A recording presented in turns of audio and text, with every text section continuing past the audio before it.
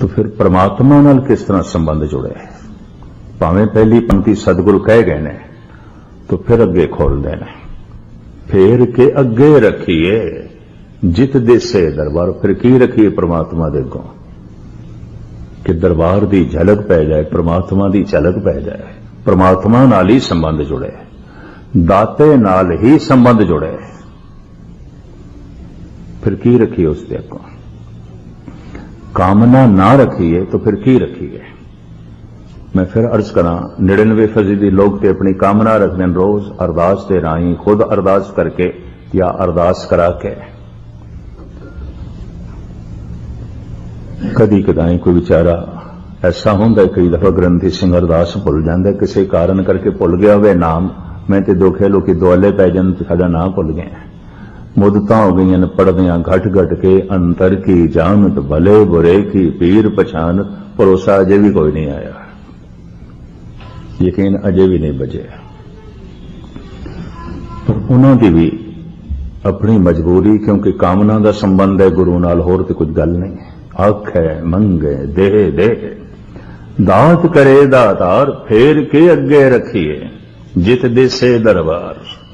ਫਿਰ ਕੀ ਰੱਖੀਏ ਪ੍ਰਮਾਤਮਾ ਦੇ ਅੱਗੋਂ? ਉਸ ਦੀ ਝਲਕ ਮਿਲੇ, ਦਾਤਾ ਪ੍ਰਾਪਤ ਹੋਵੇ। ਤੇ ਮੂੰਹ ਨਾਲ ਫਿਰ ਕੀ ਬੋਲੀਏ? ਜੇ ਮੰਗੀਏ ਨਾ, ਹੁਣ ਮੂੰਹ ਨਾਲ ਤੇ ਇਹ ਕਹਿੰਦੇ ਦੇ ਦੇ, ਐ, ਦੇ ਇਹ ਦੇ, ਐ, ਦੇ। ਕਿ ਚਲੋ, ਇਹ ਨਾ ਕੀ ਤੇ ਹੋਰ ਕੀ ਬੋਲੀਏ? ਮੋਹ ਕੇ ਬੋਲਣ ਬੋਲੀਏ, ਫਿਰ ਹੋਰ ਕੀ ਬੋਲੀਏ? ਕਿਉਂਕਿ ਮੰਗ ਦਾ ਹੀ ਸੰਬੰਧ ਹੈ ਸੀ ਜਦ ਵੀ ਜਾਂਦੇ ਆ, ਐ, ਦੇ ਐ ਦੇ ਐ, ਦੇ, ਇਹ ਸੰਬੰਧ ਹੈ, ਇਹ ਬੋਲਦੇ ਆ। ਤੂੰ ਫਿਰ ਕੀ ਬੋਲੀਏ ਚਲੋ ਇਹ ਨਾ ਬੋਲੀਏ ਇਹ ਦੇ ਇਹ ਦੇ ਐ ਦੇ।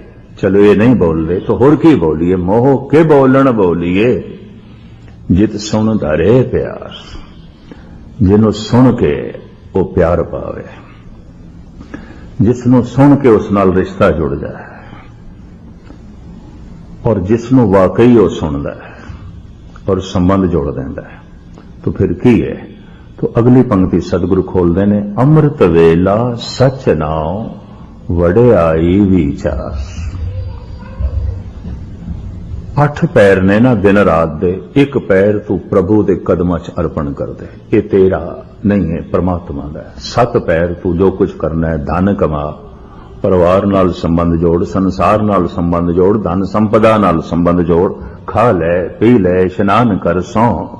ਆਰਾਮ ਕਰ ਕੁਝ ਵੀ ਕਰ। ਇੱਕ ਪੈਰ ਅੰਮ੍ਰਿਤ ਵੇਲਾ, ਇਹ ਅਰਪਣ ਕਰਦੇ ਕਿ ਜੇ ਇਹ ਅਰਪਣ ਨਹੀਂ ਕੀਤਾ, ਇਹ ਵੀ ਤੂੰ ਆਪਣੇ ਕੰਮ ਵਿੱਚ ਵਰਤ ਲਿਆ ਤਾਂ ਫਿਰ ਇੰਜ ਸਮਝ ਲਓ, ਅਮਾਨਤ ਦੇ ਤੂੰ ਖਿਆਨਤ ਕੀਤੀ ਹੈ। ਇਹ ਵੀ ਮੈਂ ਅਰਜ਼ ਕਰਦੇ ਹਾਂ, ਖਿਆਨਤ।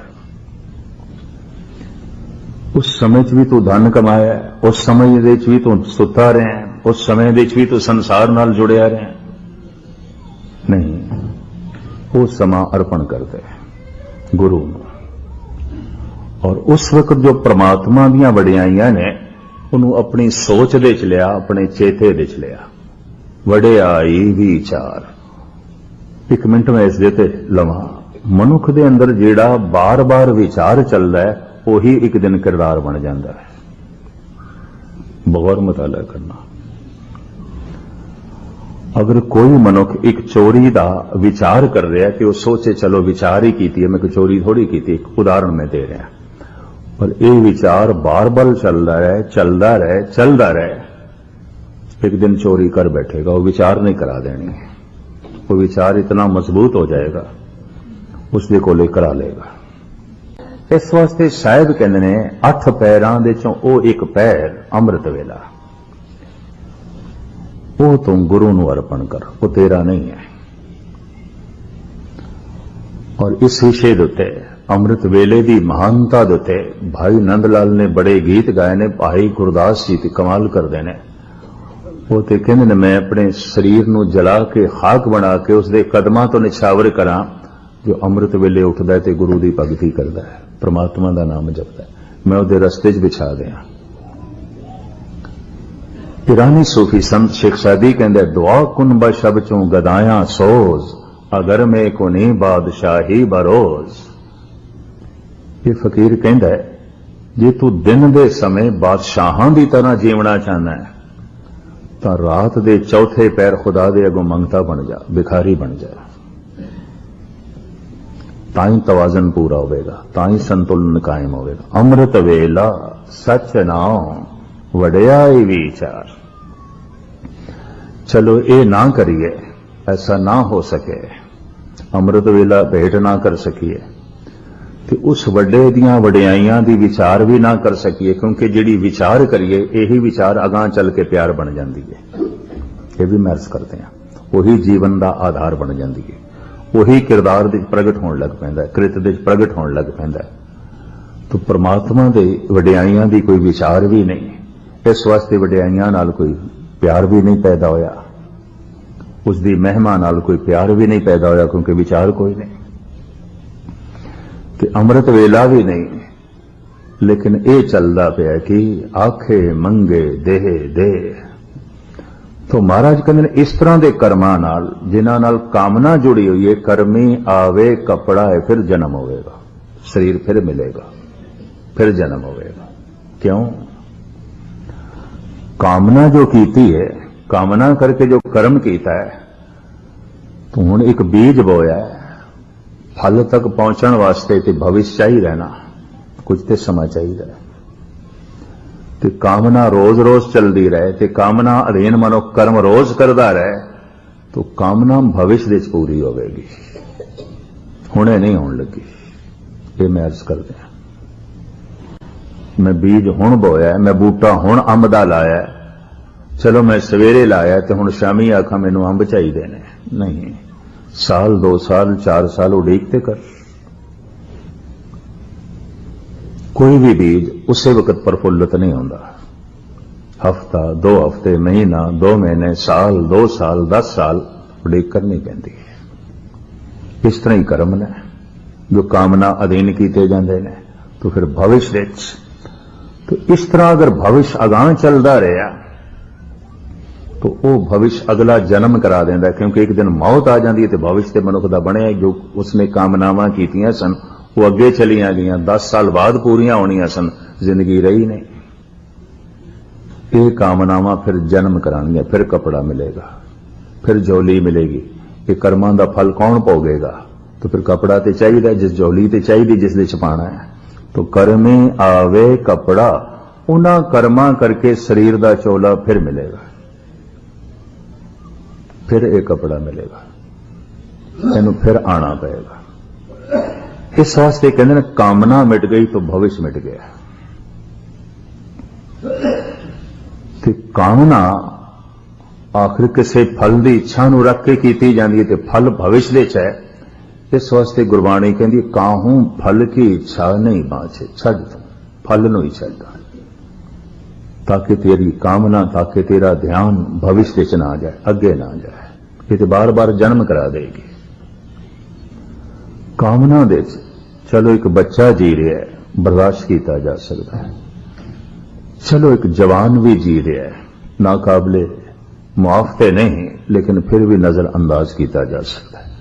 ਔਰ ਇੱਕ ਬੁੱਢਾ ਵੀ ਸੰਸਾਰਿਕ ਕਾਮਨਾ ਦੇ ਜੀ ਰਿਹਾ ਹੈ। ਅਜੇ ਵੀ ਕਾਮਨਾਵਾਂ ਇਹ ਕਾਬਲੇ ਮਾਫ ਨਹੀਂ ਹੈ।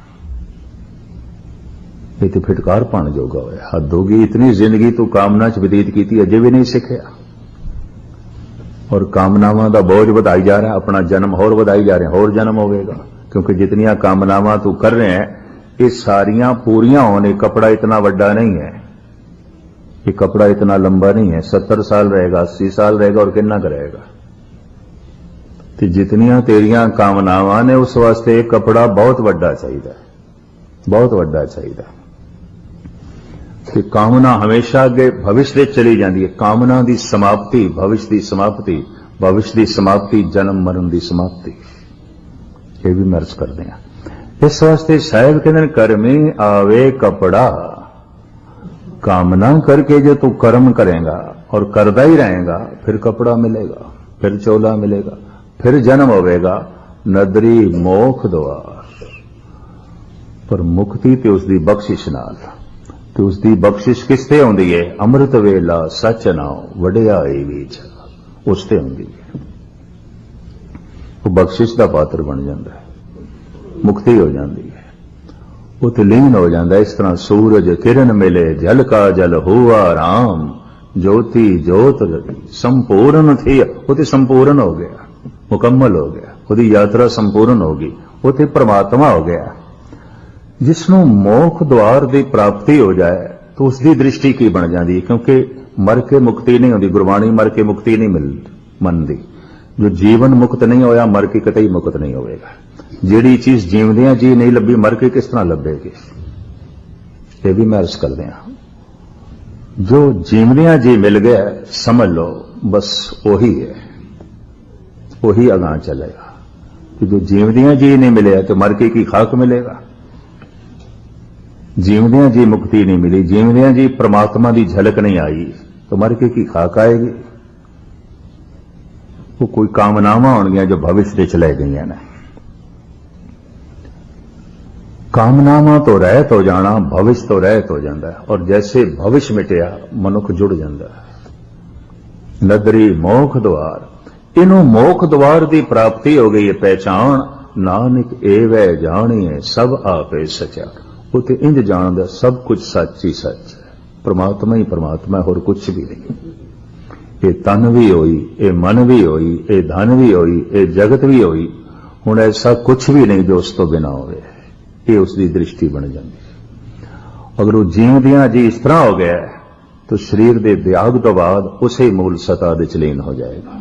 ਆਵਣੇ ਜਾਵਣੇ ਇਸ ਦੇ ਮਿਟ ਜਾਣਗੇ।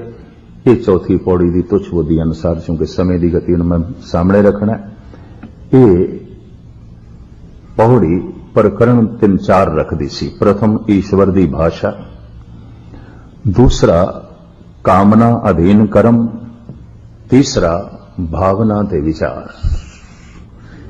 ये तीन पहलू ऐसे ने जो समझण समझाण वाले ने। चलो, इतनी समा सी और इतनी समर्था सी थोड़े सामने जो है विचार रखिए। पंजवी पौड़ी।